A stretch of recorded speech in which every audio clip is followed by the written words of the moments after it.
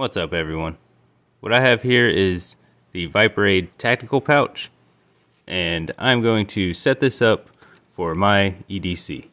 I have here the O-Knife Freeze 2. We will throw that in there. Along with this O-Pen Mini a 1000 lumen flashlight. It's a uh, Kodiak Cub. I also have this titanium pry bar. And we'll throw that in right here. And then on the inside, we'll throw some chapstick. My Tesla coil lighter. And then you could also throw in some cash or cards.